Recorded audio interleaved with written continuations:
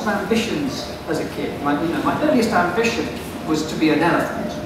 It didn't really work out, haven't got the nasal structure, all the ears for it. I'm developing the hairdo, slowly.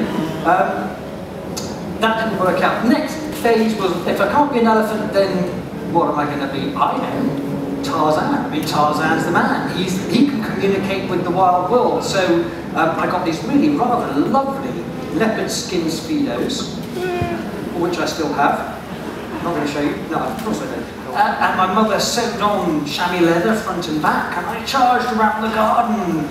Look, you're singing Goa, because that's what Tarzan did. And, and, and I used to climb the trees, and I, I perfected the Tarzan yodel, this tiny little kid doing the Tarzan yodel, which incidentally I can still do. Go on. Go on. Want me to prove it? Yeah. Yeah? Yeah. Go. Hold your ear holes. Oh!